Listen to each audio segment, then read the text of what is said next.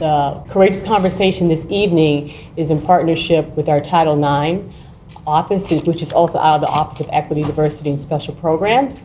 And we're partnering tonight to bring this event to you. Um, the Diversity Council, many of you have seen them around. We have some here that are in the audience as well. If they just want to stand up and wave their hands to you from all the different campuses, are here as well. and they help to bring these conversations to each campus. We look at events affect the college community and things that mirror what's going on around our nation and our world, and we bring those conversations to you so that we can have an open and robust conversation. And so that was the impetus for Courageous Conversations. First on the program, we're going to have Mr. Darrell Miles. He is one of our Diversity Council members, and he is a professor at the Dale Mabry campus. He's going to come and bring a welcome on behalf of the Diversity Council. Please give him a hand as he comes.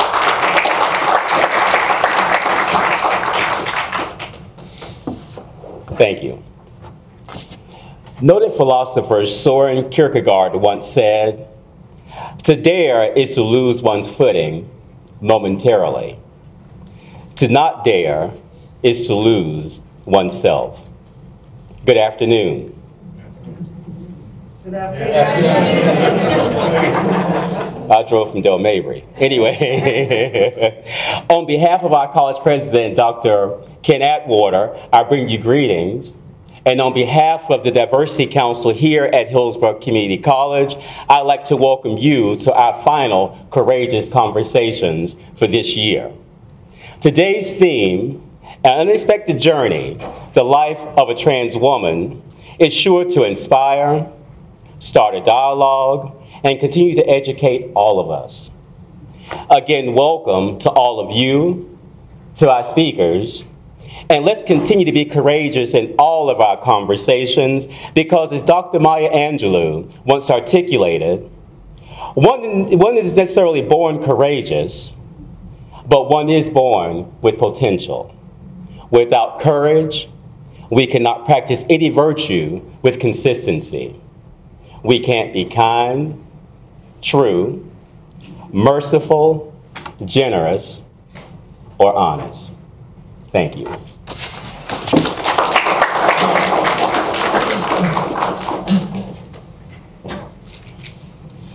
Thank you, Professor Miles. Next on our program, we're going to have an introduction or overview of this evening, and Dr. Roy Kaplan, who is one of our consultants with the Diversity Council in the college, he's going to come and he's going to start the dialogue for us.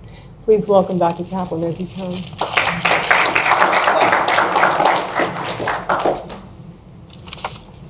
Uh, good evening. I'm uh, happy to see all of you here. Uh, and uh, I just sort of set the, uh, the guidelines for what we're going to do. We're going to have two distinguished speakers talk about uh, transgender issues in the United States, their personal stories, and then uh, we'll have an opportunity for a Q&A.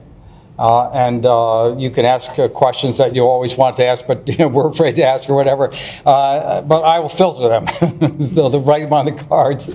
And uh, uh, hopefully we'll be able to get some interesting dialogue going here. So this is your evening. It's not for us, you know, for the people on the Diversity Council. It's for you. And that's why we present these courageous conversations. Um, I want to thank the Diversity Council uh, and Dr. Joan Holmes and Barbara Cockfield and, her, and, their staff for helping to make this possible.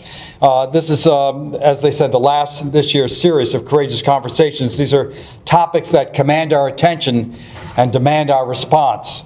And that's what we're all about tonight. This conversation, as I said, focuses on transgender issues. Uh, the National Center for Transgender Equality defines transgender people as, quote, individuals whose gender identity, expression, or behavior is different from those typically associated with their assigned sex at birth. Transgender people may identify as straight, gay, lesbian, or bisexual, or they may or may not undergo surgery to confirm their gender identity. As we become more aware of the issue of transgender rights and safety, we should not lose sight of the fact that transgender people have the same rights that we all have, and they need to be treated with dignity and respect. Yet despite this notoriety and success of some transgender people, for example, Caitlyn Jenner and Laverne Cox, and I did happen to hear Laverne Cox speak um, this past summer at the University of Buffalo, when there were 4,000 people, a little different audience, lined up uh, to ask her questions.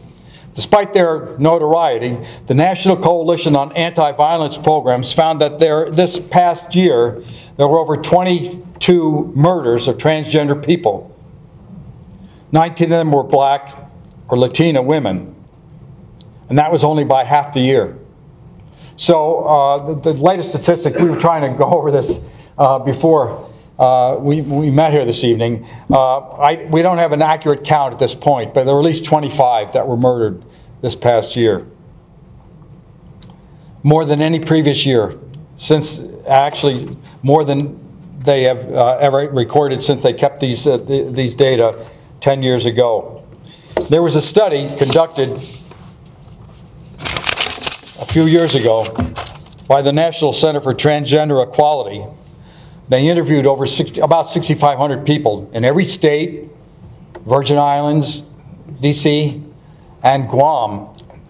And the findings were shocking. A tremendous amount of violence and discrimination perpetrated against transgender people, especially people, transgender people of color. African Americans received the worst treatment of any group. They found extreme poverty among the people, four times higher than the general population. And I'm not going to give you many of the statistics. One of our presenters is going to go over these and show a short video, so I'm not going to steal her thunder. But I want you to know that there's an alarming rate of violence perpetrated against transgender people. Harassment, 78% of the people reported being harassed. 35% said they were physically assaulted, and 12% reported sexual violence. Almost a sixth of them left school because of this kind of uh, violence. And really astounding thing is about a quarter of the people reported the violence came from police. So we have a long way to go. This I see is the next major front for developing human rights, respect, and responsibility in our society. One of the problems, you know, uh, let me say this, as children, we're told that we can be anything we want to be when we grow up. But transgender people are often targeted for trying to be their authentic selves.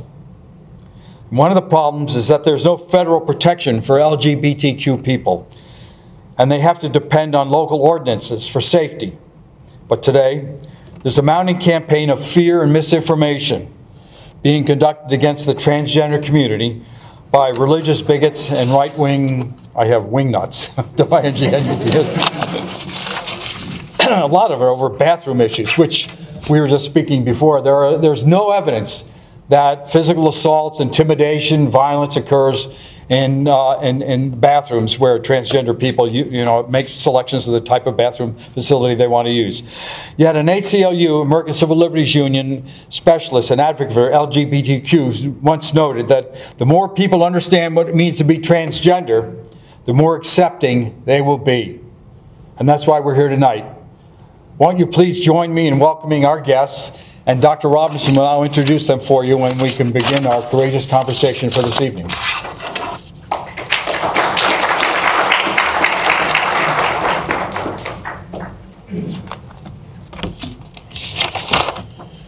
Uh, good evening again, and I, I hope that uh, all of you got a chance to read uh, the bios um, that were listed on the website and so forth. Uh, but I've got a few more things I'd like to add and, and reiterate from that. But uh, again, welcome to the Ybor City campus, and as campus president, I'm very proud to have this event here this evening, this opportunity to have this discussion and this educational opportunity for our students, faculty, staff, and community partners. Um, we have two courageous individuals with us this evening who have dealt with and overcome uh, many great personal challenges to reach both personal and professional success. I'm going to introduce and talk about both of them uh, in sequence, and, and that way they can get to their presentation and, and I won't interrupt them. I know there'll be a flow, and I want to make sure that goes right. Uh, first, I'd like to uh, talk about Dr. Kathleen Robbins. Um, she said, call her Kathleen. Um, she was an Eagle Scout, an engineering graduate from the Air Force Academy, Vietnam War pilot, a former telecommunications company CEO, a Peace Corps volunteer, and a leader in economic development. She has led an effort led an effort in Haiti, and I understand it's going back soon, to provide access to information communication technologies to people who, who live on less than $2 per day. I mean, imagine not having your cell phone, okay? These are folks who can't communicate across a river for whatever reason, and they have to live on less than $2 a day. We pay more than that for some of our french fries, right? Um, Dr. Robbins was featured in a book titled uh, Coming Out in Faith Voices of LGBTQ Unitarian Universalists. Her chapter was called Crossing the Rubicon. Uh, Dr. Robbins holds a Doctor of Ministry degree. Uh, next, we have Ms. Gina Duncan, uh, who has served, is currently Equality Florida's Director of Transgender Inclusion. Ms. Duncan played football at East Carolina University as a scholarship recipient, has over 30 years of banking experience, including serving as president of the Mortgage Bankers Association of Central Florida. She served two terms as president of the Metropolitan Business Association in Orlando, chaired Orlando's Coming Out Pride event, which annually, annually draws over 100,000 people to the Orlando area. And we just started our Tampa Pride back up just a couple of years ago, which will be this weekend, actually. Um, she has been featured on the cover of Florida Trend magazine and is listed as one of the top 100 LGBT movers and shakers in Florida. That's Miss Gina Duncan. Uh, Ms. Duncan and Dr. Robbins each have a great history, a great story, and many great things that they have done, not just for transgender people, but for those seeking housing, seeking to become entrepreneurs, seeking to connect with their loved ones, seeking equality and fair treatment, and seeking strength through their faith. Welcome.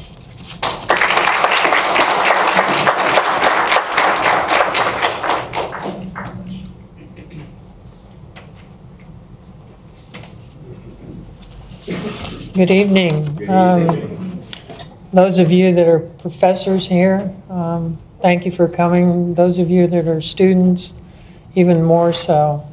Um, As Dr. Robbins said, Robinson said earlier, um, you know, this is going to be a question and answer. I hope your questions will be courageous, um, what you always wanted to know, but we're afraid to ask. Now's your opportunity to do that. Um, Today, I'd like to tell you a little bit about my journey, 22 years as an adult male and 25 years as a trans woman, and what I've learned along the way. And I say trans woman because um, there's one significant difference in how I was raised and, and my sisters.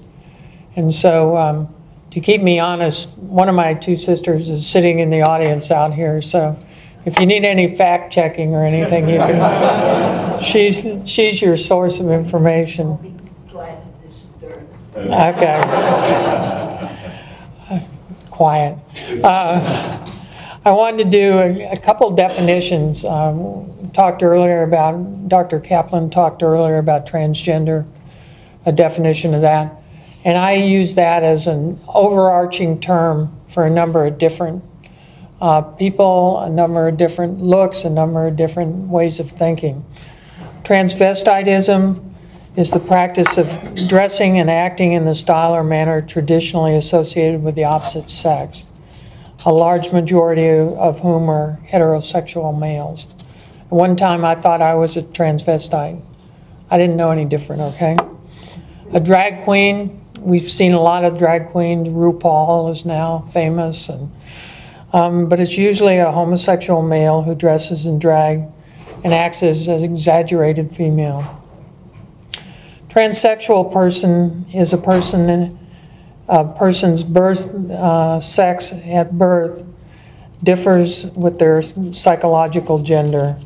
A medical diagnosis of gender dysphoria can be made if a person expresses a desire to live and be accepted in the, as a member of the opposite gender. There's a number of theories why this happens, but no one really knows. What we do know is that it exists in virtually all cultures around the world. And for me, the why question was the hardest to get over. Once I said, it doesn't matter, it is, everything sort of fell into place. Transition. we're going to talk a little bit about transition tonight and the difficulties of that. And it's the process of changing one's gender presentation permanently to accord with one sense of one's gender. And I apologize for these definitions, but I wanted to get them right, so they came out of a medical dictionary. The idea of what it means to be a man or a woman or in between. For transsexual people, this process typically involves sex reassignment therapy, which may include hormone replacement and/or sex reassignment surgery, which is now being called gender confirmation surgery, and living in their new sex that's different than their birth assigned sex. One area of clarification, and this hung me up for a long time. Sexual orientation and gender identity are two different, totally different things. Um, the difference is that gender, gender identity is who I am, sexual orientation is who I love. So, how did I get here? The short answer, to quote Anaïs Nin, and the day came when the risk to remain tight in the bud was more painful than the risk it took to blossom. It became too painful to be not be me and be my true self. When I was three, I knew I was different. When I was five, I knew I wanted to be a little big, uh, little girl, but I also knew two things. Number one, it was impossible, and number two, it was shameful.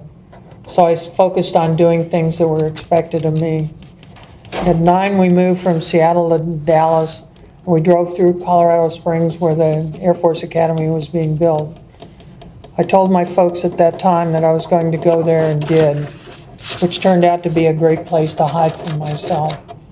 You'll see with different stories, as you listen to trans stories, coming to grips with internalized transphobia is the hardest part of the journey of all. Um, at least it was for me. I thought I was the only one in the world, and remember, this was before the internet and Jerry Springer. So uh, the only role models I had were few and far between. I tried to bargain with God, take these feelings away and I'll be good, but that didn't help. And as I traversed the journey of adolescence, along the way I became an Eagle Scout, lettered in football in uh, King High School right here in Tampa. Um, You a King grad? Go Lions. My sister and brother-in-law are both grads of King High School also. Um, And remember, gender, and I had a wonderful girlfriend at the same time. Remember, gender, gender identity and sexual orientation are two different things. Sexual orientation is who I love, not who you are. Within three weeks of high school graduation in 1964, I found myself having my head shaved at the Air Force Academy. And within the next month, the Gulf of Tonkin incident happened, and the U.S. became engulfed in the quagmire of Vietnam. During my time at the Academy, I discovered Christine Jorgensen's book, but I really couldn't relate to her journey either because she was attracted to men. I graduated from the academy, went to flight school, married six months after graduation, and much to my shame, did not tell my wife, Julie, about my desires until after we were married. Suddenly, when I did tell her, both of us were in the closet. We were stationed, I was stationed in the Philippines for two years where our son was born, and I commuted to war in Vietnam. Uh, that way, I didn't count against the congressional mandate on the limits of troops in Vietnam.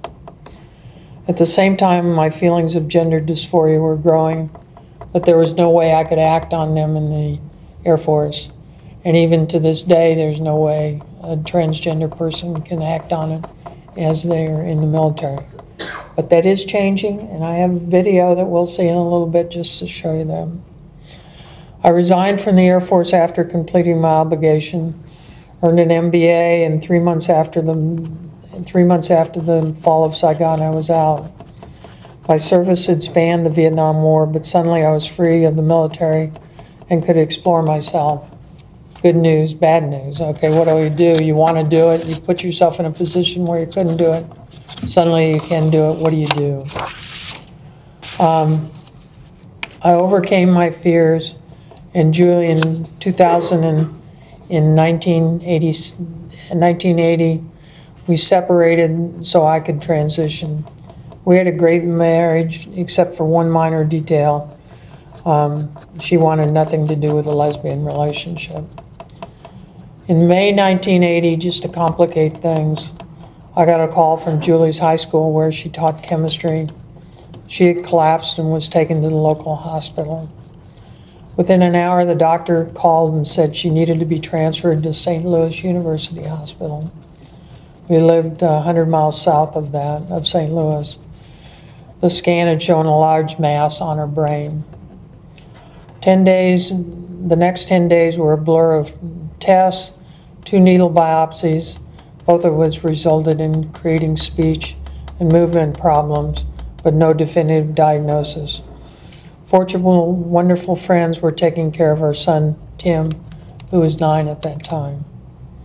After all the tests, the doctor said it appeared to be a very aggressive tumor.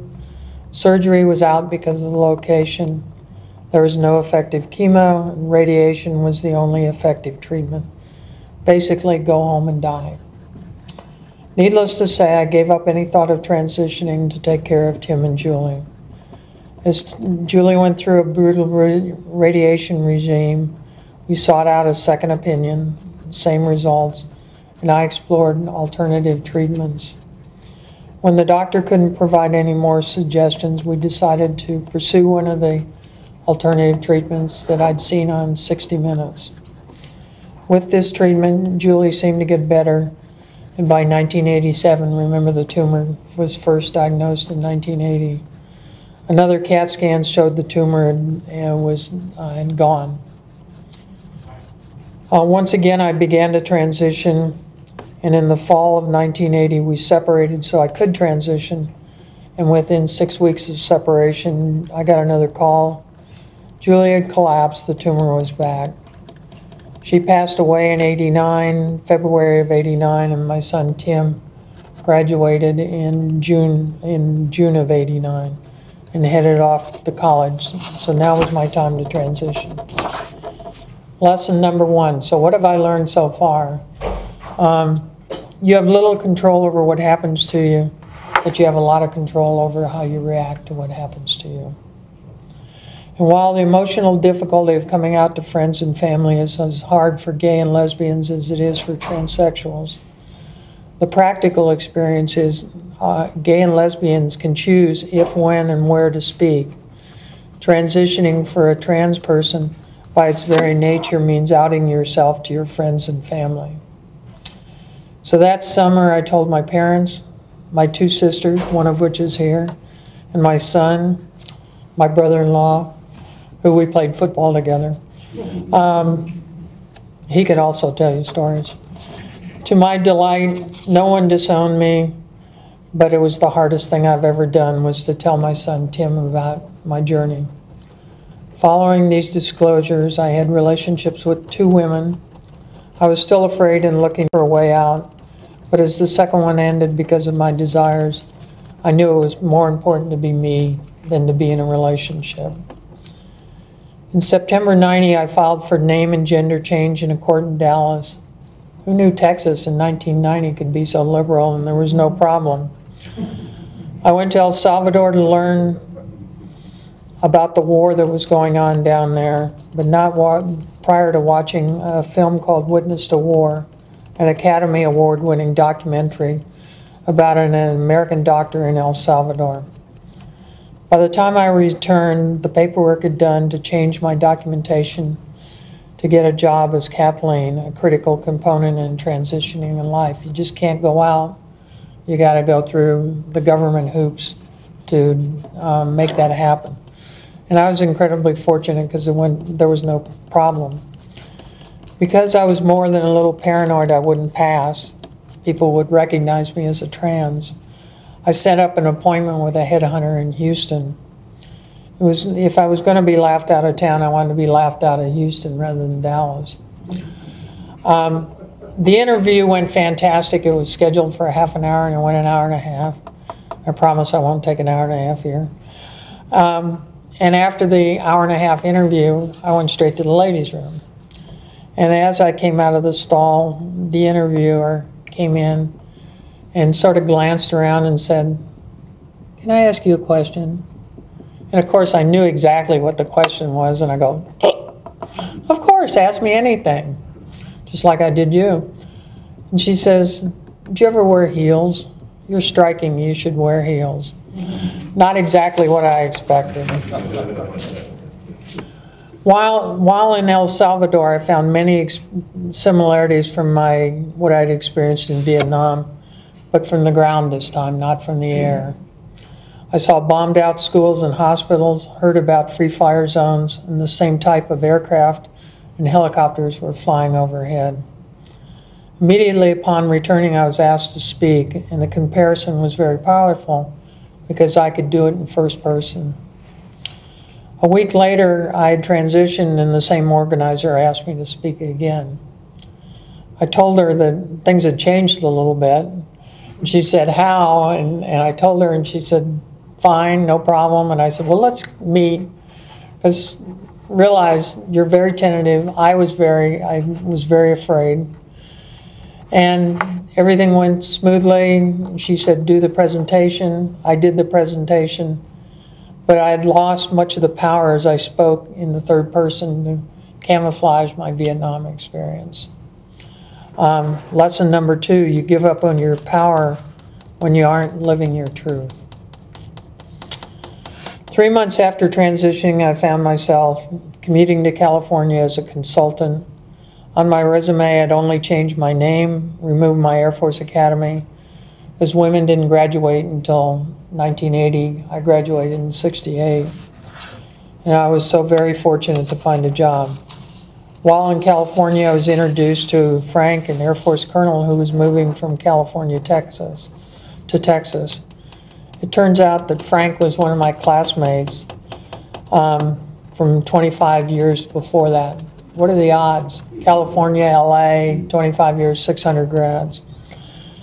As I entered corporate America, having the same resume except for name and military experience, and oh yeah, I returned to my blonde hair color of my youth. Um, I found in meetings and dealings with men that apparently my IQ had dropped by at least 20%. Um, suddenly, my thoughts and suggestions were ignored, only to resurface shortly from one of the guys and to be supported by men and women around the table. Even at Cellular One, I found out that I was only being paid about 70% of what the man in southern Illinois was being paid. Lesson number four white privilege continues to be alive and well and affects all of us men, women, white, black, gay, straight. The same mentality that's been so oppressive to the people of Ferguson impacts us all in different ways. As you've heard, I've been incredibly fortunate. I didn't lose any of my family and was able to transition with little trauma or drama. I've been able to make a difference in my community, I hope, and support myself at least as well as in my own life and have one memorable friends. So why have I become, why have I been so fortunate? When, as Dr. Kaplan said, there's a lot of trans women, trans men that have not been so fortunate. The simple answer is my parents and my family. I have two younger sisters, Judy, who's here today. She's an engineering grad and a registered professional engineer. And my sister Peggy, who's an, an insurance executive. Our mother, the top science student in her high school, wanted to be an MD, but when she learned in 1940 she had to choose between her dreams or having a family. Obviously, she chose family. Thank goodness for me and Judy, but I don't know about the world. And became a medical technologist, ultimately running a lab. In short, Judy and Peggy and I were raised without gender limits, with one notable exception. And this is where Title IX comes in to a large extent. I was raised without limits by my parents when it came to my body. Um, I wasn't limited by fear. I, Judy, who was one year behind me at King, had the choice of being a cheerleader or a dancer. Um, while I had the choice of playing football, basketball, baseball, swimming, I didn't, etc. I did two out of the many there, swimming and football. Fortunately, beginning in 1972, Title IX began to address this disparity. And today, King and HCC have a plethora of opportunities to participate in sports for women. Now, I'd like to tell you a, little story about love and war about Logan and Layla from the New York Times. Said, gentleman back there to start it. Be about 12 minutes here. To ask you to think about two questions. Uh, why did Logan have such an easy time transitioning? Why did Layla have such a difficult time? What's the difference in that, those two things? And I, during the question and answer, I'd like to discuss that. And then the other thing I'd like you to notice is Layla and Logan both look, look very gender normal. Eh, Neither of them were gender queer, nor gender fluid. Both of them looked like a standard man and a standard woman. What had been if they weren't so standard? How would they be treated then? Something to think about. The reality, and I've told you about my journey, you've seen what um, with Logan and Layla happened. I've been very fortunate, but Dr. Kaplan pointed out that lots of LGBT youth aren't so fortunate. They're disowned by their family, expelled from their church, bullied in school, and then generally pillared.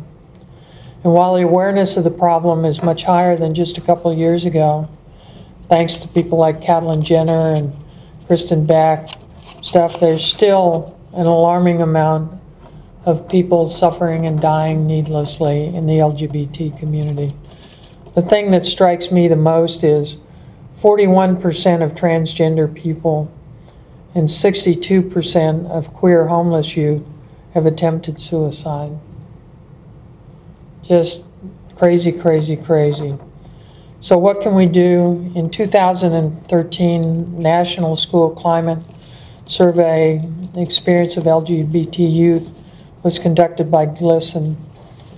And professors, teachers set the, set the standard. You're the ones that can set the, the pace and everything. Is bullying acceptable in your classroom? Are microaggressions acceptable in the classroom? That's the thing that has to be looked at on both at the high scale and, and the college level. And a hostile environment impacts, we know that impacts GPAs, we know that impacts children staying in school. All the things are there. And one of the things that was talked that Dr. Kaplan talked earlier about, a huge proportion of the deaths in 2015 were trans women of color. There's a real intersection between racism, poverty, and transphobia. And that's something that needs to be addressed. So I've chosen to speak up. Title IX now covers LGBT. We don't have a, a national uh, protection, but Title IX is for students. Title IX is a protection for bullying, for hate crimes. So lesson number five, if I don't speak up now, even when it scares me to death, who will? It's time for us to begin to speak up. So here we are. The reality is I've had a wonderful life, the opportunity to travel, to look at life in numerous ways, Air Force, Peace Corps, war, peace, male, female, got to keep things in balance, you know. Um, but then one thing I'd like to close with, for trans people, we have some responsibilities also. To be honest to ourselves and others, to begin to really work at who we are and be honest about that to ourselves and others. Be professional. I was conducting a class at a UU church, and there was a trans woman in the audience, and she said she delights in talking in a feminist feminine voice to someone, and then all of a sudden talking in a very deep voice and shocking people. I don't think that's productive or professional in any way, shape, or form. Empower those around you. Um, we've been, I as a transsexual woman, have been thinking about this since I was three years old. When I told my sister, she didn't have a clue. I had to give her time and space to adjust to that and give her the support, same support that I was wanting to get from her. I had to give her that same time and support to do that. And I be confident in yourself. If I'm feel somebody, I go into a store and somebody's looking at me like, I'll go up and talk to that person. I'll introduce myself. I'll go up and say, Hi, my name's Kathleen. Um, Dr. Robinson, from Dr. Robinson down, support is critical. Trust in your leaders, trust in the faculty that they're going to do the right thing, and 99% of the time they will. Finally, plan your transition. It doesn't happen by accident. It really is a transition and learning from that as you go along. I'd like to close with a poem, one of my favorite poems by Mary Oliver. It's called The Journey. One day you finally knew you had to do and began. Though the voices around you kept shouting their bad advice, though the whole house began to tremble, and you felt the old tug at your ankles, ankles. Mend my life, each voice cried, but you didn't stop. You knew what you had to do, though the wind pried with terrible stiff fingers at the very foundations, though through their melancholy was terrible. It was already late enough and a wild night, and the road full of fallen branches and stones. But little by little, as you left those voices behind, the stars began to burn through the sheets of clouds, and there was a new voice which you slowly recognized as your own that kept you company as you strode deeper and deeper into the world, determined to do the only thing you could do, determined to save the only life you could save, your own. Thank you very much. I think I'm good. Good evening, everybody. I'm Gina Duncan. I am the Transgender Inclusion Director for Equality Florida, and I'm, I'm thrilled to be with you. Um, I have to say that um, over the last 18 months, I think I've spoken at every university or college in Florida except for FSU. The Seminoles are still holding out on me, but um, well, put in a good word for me or something. But, but I'm very pleased to be with you. I thought I'd tell you a little bit about myself, but mainly I want to talk about what's going on in Florida in reference to the transgender movement and the transgender community. And there's a lot, as you might know. Ever since marriage equality has come to Florida, the crosshairs of discrimination have been firmly pivoted towards the transgender community. Like never before, we're seeing these hateful transgender predatory bathroom bills that are being introduced all over the state and all over the country, day after day. And um, I want to talk about that, but a little bit about me, who you know, who doesn't like to talk about themselves. But um, it's very similar in in Kathleen's story, and the fact that, and what I found with transgender people who have transitioned later in life, not that we transition later in, in life, but that it's very similar. Our paths are very similar. It's just a matter of timing in some respect. But I knew that I was different, if you will. I knew that I had gender dysphoria at a tender young age of five years old. We lived in Rockaway, New Jersey, and across the street from us lived this wonderful Irish Catholic family named the Moriartys. And the Moriartys had seven girls. Mr. Moriarty kept trying to have a boy, and he kept having a girl. I think he sat down, they said he sat down on the curb and he had a breakdown when he had that seventh girl. But it was a Saturday morning and I was walking out and I remember it like it was yesterday and I was flipping a football up in the air. And the Moriarty's door burst open And my sisters, and the Moriartys, came flying out laden with boas and hats and jewelry and shoes, and they were going to have a dress up party. And my sister grabbed me by the arm as she went by and said, Come on, we're going to do a dress up party. So, so for some reason, I did. And when she finished putting that little flowered sheath on me and dabbed lipstick on me and polished my nails, I felt for the first time that I could breathe. And that's a feeling that has never left me. And it's a feeling that I needed more and more as life went on. But like many of us, life kind of got in the way. And I was raised in a large family. I have two brothers and two sisters, and a very dynamic um, mom and dad who loved to travel. We lived in 11 states in Europe by the time I was 11. We settled in Merritt Island. Uh, my dad was a high level NASA guy at the Cape. And uh, I grew up going to schools in Merritt Island. So I'm, I hail from Brevard County. But we were also a very athletic family. My dad was a all-world quarterback in college, and my mom was a basketball player. So we had a very athletic approach to life. And I think that, you know, in we often talk about transgender people who try to offset this, this dysphoria that they're dealing with. And waking up every day not feeling comfortable in your skin, knowing your gender identity does not align with who you are physically you often throw yourself into other ways and overcompensate perhaps. And I was an all-state middle linebacker of a undefeated state championship football team at Merritt Island. I, I was an all-conference strong safety at East Carolina University playing under Pat Dye uh, up in East Carolina. And then afterwards came back to Florida and got in banking. Uh, I had the good fortune of, of moving up in the ranks with Wells Fargo and uh, when I retired, from Wells Fargo. I was the regional manager overseeing 26 branches, um, 285 employees, a multi-million dollar budget. I basically had from Jacksonville to Miami, the East Coast of Florida. I told Wells Fargo the same week that I was promoted to regional manager, I sat my manager down over a strong martini and I told him what I was going to do and talked to him about what it meant to be transgender.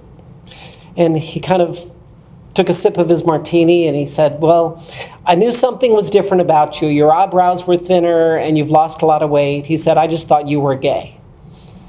and I kind of laughed.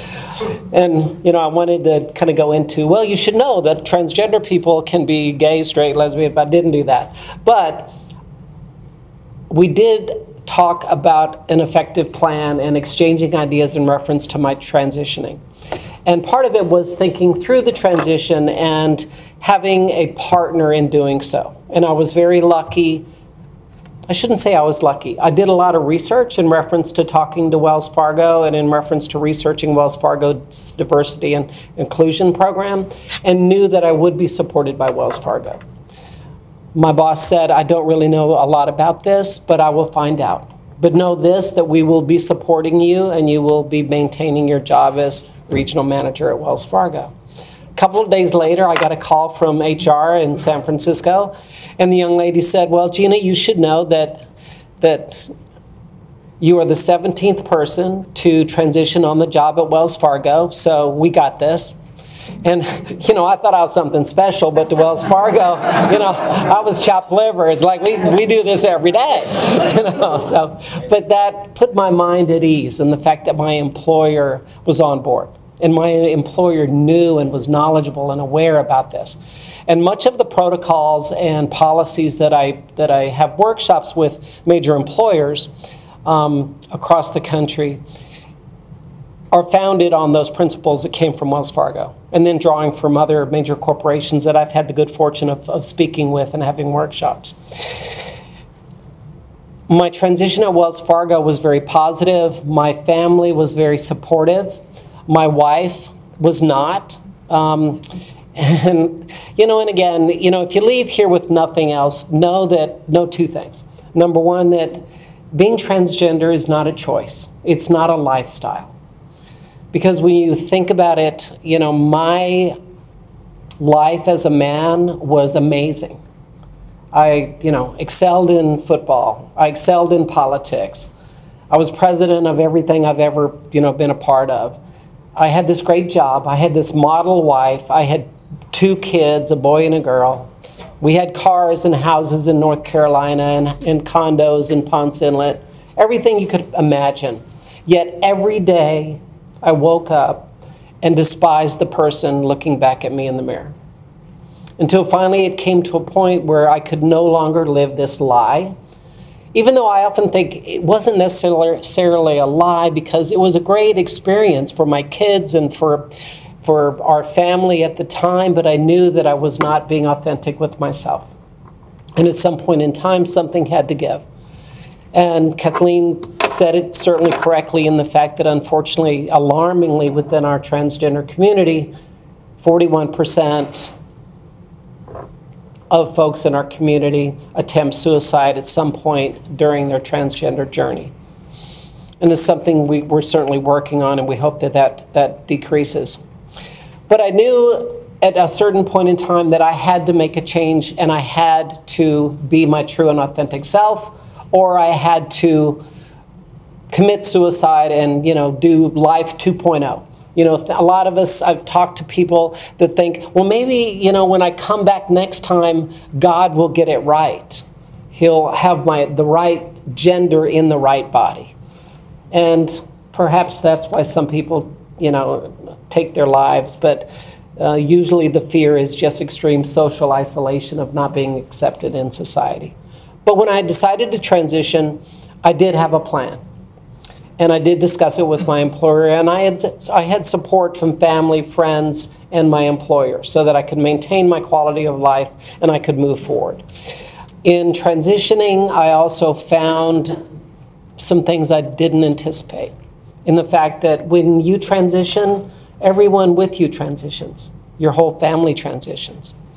My mom, being the very insightful rock of a person that she is, she went out and bought Jennifer Boylan's book, She's Not There. And if you haven't read that, you should.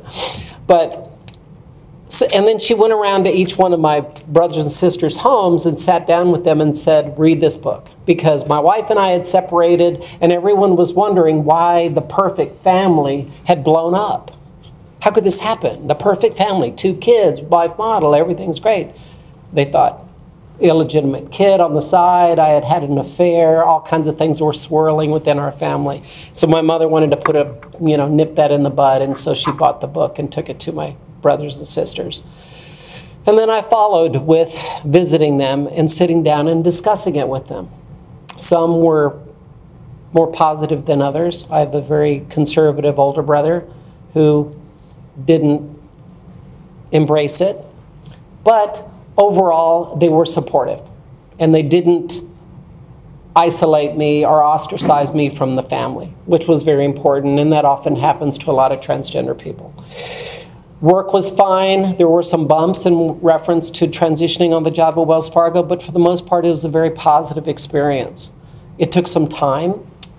I had a situation where my assistant of seven years, and these are some of the things that you don't perhaps anticipate, but my assistant my third day back at work, was late for lunch.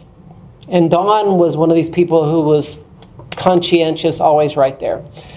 And Dawn came back at around 3 o'clock, and Dawn isn't really her real name, but at 3 o'clock, Dawn came back, and I could hear her thumping down the hallway because apparently Dawn had been drinking at lunch, and Dawn doesn't drink. And Dawn came into my office and sat down and had a meltdown. And she said, I never had a chance to say goodbye to Greg. I love my boss, and now my boss is dead, and you're sitting there, and I never had a chance to say goodbye. And I'm looking out through these eyes at the same office, at the same assistant I'd worked with for years and years, yet she's looking back at someone she thinks she doesn't even know. And I think, if anything, that's one of the things that I didn't anticipate the aspect of people feeling like you had died, and that all of that that perhaps they liked in you was still there, and perhaps even better because now you could be your true and authentic self. and you no longer had to carry around this baggage that had been holding you back for so long. My daughter and I, soon after I had transitioned, we were cooking out.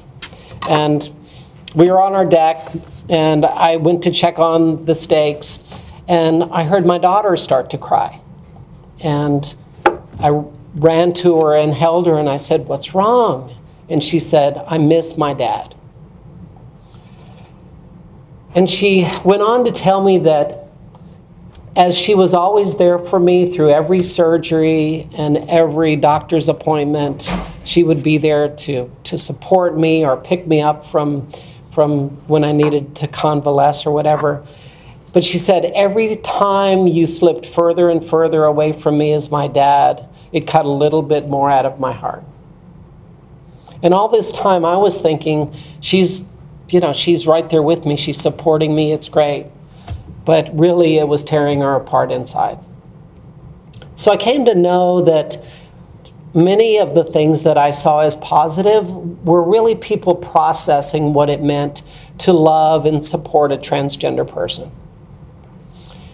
In the end, up through this point, it's been a fascinating experience. Um, it's been a, fascinating living a life of male privilege and then losing that aspect of male privilege. And absolutely true in the fact that soon after I had transitioned, I went to a regional managers meeting. And I had one of the best regions in the country. I'm very proud to say. We did well. But I still remember, and with that, that usually I had, you know, cloud when we had regional managers meetings. You'd say something and everybody would go, yeah, that sounds good. Yeah, I really like that. Got like guys do, right? So, regional managers meeting, we're there and same kind of situation. I thought I had some great idea and I spoke up and said, this is what I think and crickets. It's like nothing. 10 minutes later, one of my colleagues said exactly the same thing. And sure enough, oh, that's a great idea. That's a great idea you do. So I thought, wow, again, feeling and experiencing actually what it means to be on both sides of that desk and experience male privilege and then losing that male privilege and seeing life uh, through the lens of being female. So, briefly, that's my story. But what I would like to talk to you about if I'm not running too long and bring out the hook if I am. But I did want to catch you up somewhat in reference to what's going on in the transgender community in the area that Equality Florida is working so diligently on and with in reference to supporting trans inclusion. We launched our transgender inclusion initiative three years ago, knowing, I think it was very um, insightful of our leadership to see that the transgender community was going to be emerging. And for so long, you know, we were the silent T, you know, and, and there was a lot of people within the community that were trying to get legislation passed. And because there were few spokespeople from the transgender community, often legislation, right up to ENDA, the Employment Non-Discrimination Act, failed because there weren't transgender people who felt safe enough or in safe spaces to be able to step up and support that. And I could see how there was a lot of frustration. Over the last two to three years, as I used to say that the transgender community was running to catch up, now it feels to me that society is somewhat running to catch up in understanding what it means to be transgender. In my group, we live by the adage of visibility leads to awareness, awareness leads to education, and education will lead to normalcy. So I'm always encouraging my transgender brothers and sisters and my brothers and, and my, my friends in our transgender umbrella of gender not gender non-conforming people and gender queer friends that visibility is the key to making progress. We see in intersectionality of institutions that we deal with right now in society, there's a great deal of movement going on. Let me first talk about employers. We have found that employers have been the keystone to progress. And you often see this in social media, but major employers get it They understand that it's important to embrace diversity and have inclusive and diversity, diverse and welcoming platforms in their workplaces because that leads to economic development. They're able to recruit the best and the brightest. They're able to recruit the millennials who are looking at the Human Rights Campaign's Corporate Equality Index and seeing which companies are inclusive. So first of all, employers, I think this last week I did my 50th workshop for major employers across the country who wanted to make sure that their policies aligned with their practices. And what we found in many cases were that these companies were scoring 100% on the corporate equality index until Gina Duncan knocked on the door and said, I want to transition on the job. And I know we have this great platform, and I know we score 100%, and I'd like to keep my job in transition. So, bridging that gap between policy and actual putting that policy into practice is something that we've seen employers have needed help with, but they're willing to embrace it. And we're seeing that major employers also are a major leverage in working on public policy, which has been a huge gain for us in pushing forward legislation and advocacy for the community. Secondly, school boards. We have a huge issue in reference to what's going on in our schools. And the reason for that is that more and more younger and younger trans kids are coming out at a younger age. And many school boards are balking at everything from bathroom usage to pronoun understanding to just supporting that transgender young person. And oddly enough, the parent is usually leading the charge because the parent is enlightened and informed and knows how that their child should be supported in schools, and yet schools are still requiring that they use the wrong restroom or they use the segregated bathrooms. And there's all kinds of horror stories. In Volusia County, for example, they went out and bought an $11,000 portalette for this one trans young man. And he was the only one that used that bathroom. In another example, there was a young man who was a trans man, trans young man, and good looking guy, 5'11, stout built, great goatee. He had been on hormones for about three years. Just a, a wonderful heart he was being required to either use the girls' bathroom or use the faculty bathroom. So every time he went to use the bathroom, he would have to ask for a key. And they would roll their eyes and hand Ryan the key. Or Ryan could take his bushy face into the girls' room and use the women's restroom, the one that aligns with his biological sex at birth, which is totally wrong and against the Department of Education's rulings. To complicate matters and, and to show how heinous this is with our young people is the football coach actually came to Ryan and asked Ryan to come out for football because he needed a fullback. Yet, by golly, Ryan, use the girls' room when you go to the restroom. You can imagine what's going on in that young person's mind. Very, very debilitating. So we're seeing that school boards are challenged, and we're seeing that even in Hillsborough County. We're seeing it in Sarasota County where there is some progress, there is education that needs to be done to move forward in that respect. Law enforcement, we've done a lot of educational aspects with law enforcement. I did a national webinar for the TSA this morning where we're educating TSA agents on how to better support transgender people who are going through security. Because right now, many, many transgender people are afraid to fly because they're afraid to go through security and the processes of that screening apparatus that the TSA continues to use. And lastly, let me talk to you about public policy. That is the biggest concern that we have as an advocacy organization, and we should have as a, as a transgender community, in the fact that we are being attacked on all fronts in reference to being transgender and they found the magic bullet in the Houston Human Rights Ordinance battle, and that was no men in the women's restroom.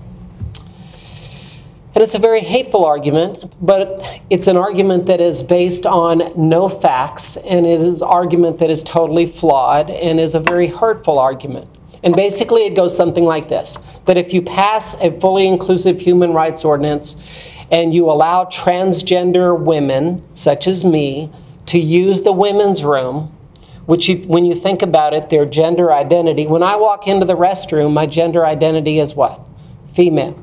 So if I go into the male's room, male restroom, as they say I should, unless I have my driver's license gender marker changed, think of the dysphoria that causes. But state after state is proposing these laws which, is which are requiring that people use the restroom of their biological sex. They're passing laws that apply to schools where young people should only use bathrooms that align with their biological sex and not their gender identity. And they're basing this on, you know, religious reasons. They're basing these, these horrible laws on safety issues.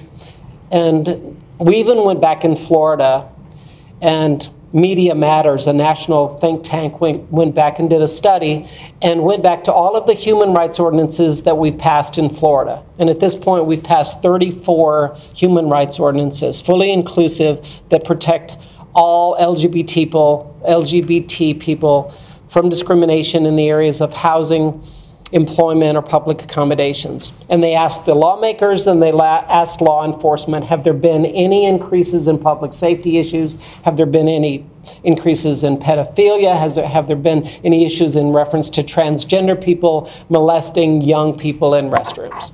And mainly young women in restrooms. And nada. National studies have also shown the same thing. So it's an argument that's based on hate speech and it's based on no facts whatsoever.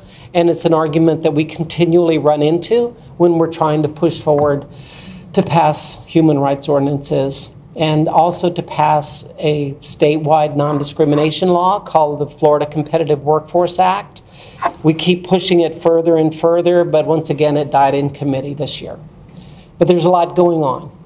And it's because the transgender community is emerging from the Caitlyn Jenners to the, you know, Jennifer Mox to, to Laverne Cox, et cetera.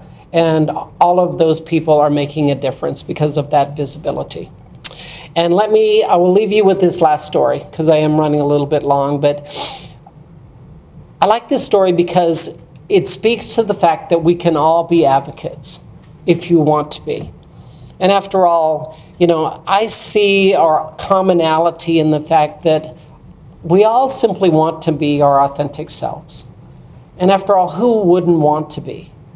You know, when you stop and think a bit about it, what day, do you remember what day you decided what gender you were going to be? I'll give you a moment. right. Nobody decided what gender you were going to be. I didn't either. My gender just happened to not align with my biological designated sex at birth.